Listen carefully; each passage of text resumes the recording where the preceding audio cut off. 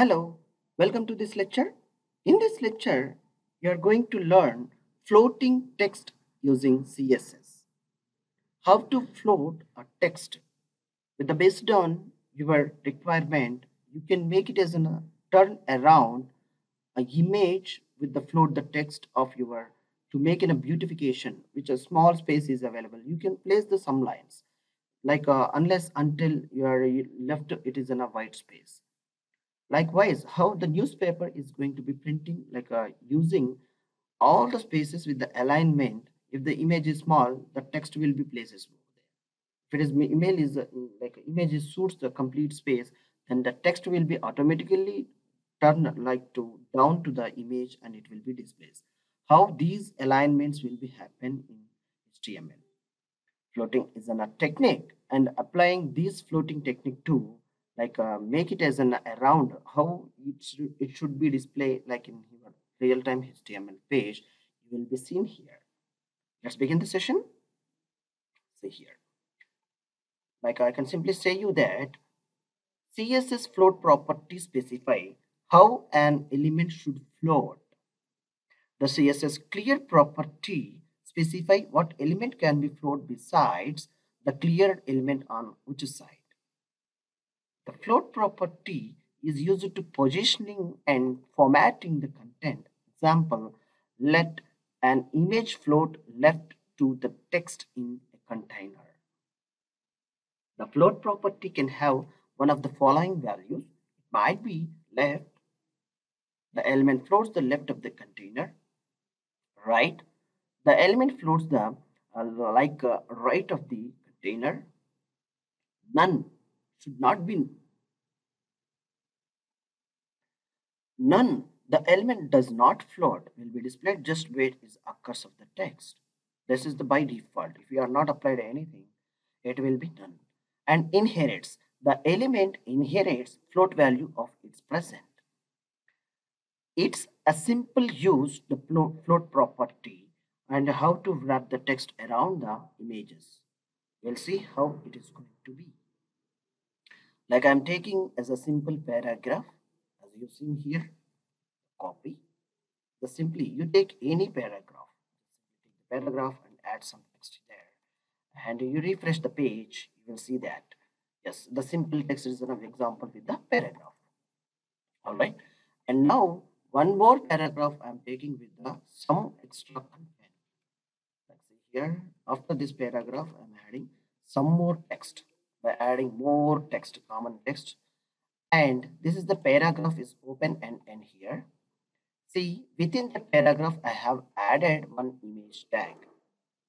With this image tag, what I am specifying here, SRC attribute, how the image will be called with the SRC attribute, and pineapple.jpg was, uh, let me see this image is not available or not.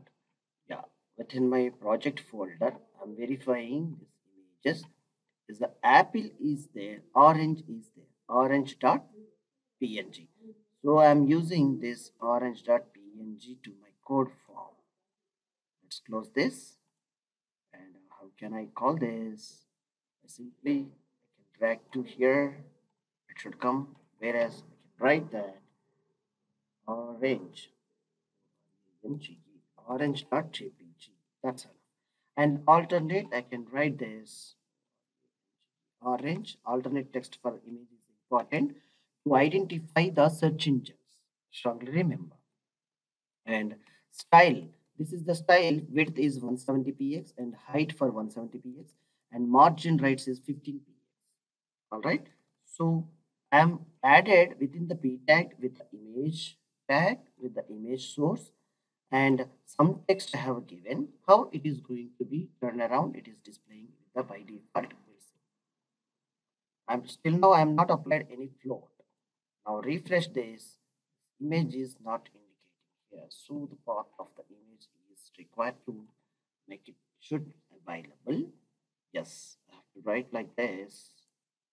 The folder name is images. I M A G E S images. Now let me see the image path is separated. Yes. You see, the file is here welcome.html which is our demonstration form that html form. And the folder within the project folder is here like uh, images. So the path should be like images. We have to specify the first folder where to go uh, to find the source image. And after that within the images folder orange.jpg the extension it is displaying here. So i have written with the forward slash and orange.jpg the spelling of the file name should be accurate. And orange.jpg with extension we have to write. So it is a source we have given a perfection of the link now it will be file refreshed. You see here the orange image is displaying. And now see here orange image is displaying at the beginning of the paragraph. And this is the content of white space you are seeing here. This is how about we are prepared for floating text for this right? Now we try to apply the like a floating options to this particular image and uh, this content and we'll see how it is. Within the style with the for the image tag i'm adding like a float is right these are the options we are going to applying and seeing uh, how it is happening with the left right and inherits. By default it is none. Okay? On style tag see this is the style tag and before the style tag ends doing here yes preparing image tag adding the image tag here. This is the image tag. And uh, open and uh, close the curly braces. Float i have uh, mentioned the keyword of float attribute name and that equal to that with the colon with the value of right i am using. What right is saying this one the element floats to the right of its container here the element save this and reload of the form Yeah, reload. Now you see here, the right part it will be shown as of now to display this part of image element.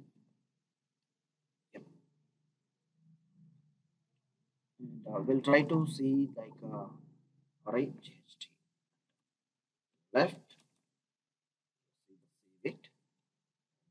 Go to the form, which is also displaying the only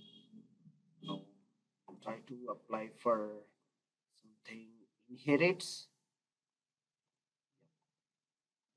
I'm trying to apply in the thing style float right applying for paragraph something with the paragraph have we done anything?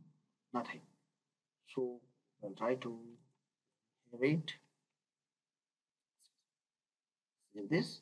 On this image tag it should be like uh, yeah save and it is a moving turnaround. Turnaround. Like uh, we have we are trying to applying like a grouping of the text and all. Whereas um, the thing it is applying. Within the paragraph it's a turnaround it is applying. See here. By minimizing the image here. Making like a more responsive. Yes we have to like uh, add uh, one uh, attribute called responsive thing at the top of the page. Yes it is available. So it should be like uh, moving around to around like uh, i'll uh, try to change my image place to some around uh, ending of the position.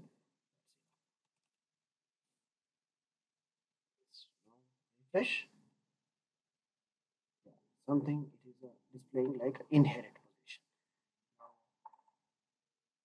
If you are uh, replacing like a page around it will be like a turn around the things and it will comes to display around your page. The image the context of this actually floating should be wherever you want to like float the data it's all about to float and it will be displaced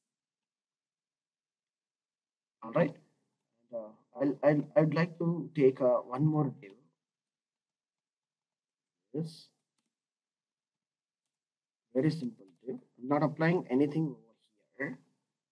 And, uh, I'm taking this p tag. To that our new div. It's a div, not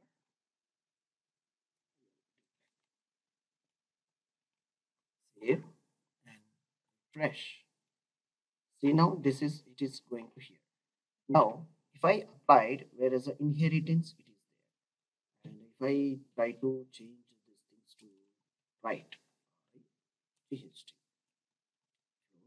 right. Refresh.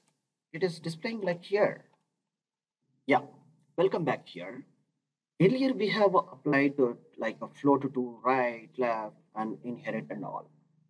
Yes. It's already overlapping with our existing classes and all. Now you see i have cleared all the thing from the style sheet. Now for the image tag only i have applied here with the float right and now see here this p tag is with the image of orange we have called so called now save this and open the page of our page. Just refresh it, floating the text and the image is displaying here. Minimize and always you'll be like the image will be displayed around, around with the text it is displaying like uh, with the image. Have you clear?